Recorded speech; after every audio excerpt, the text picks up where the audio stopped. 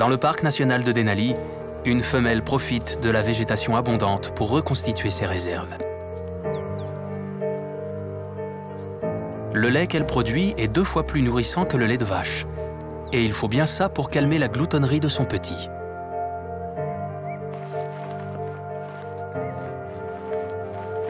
Les jeunes devront avoir pris au moins 90 kilos avant l'automne.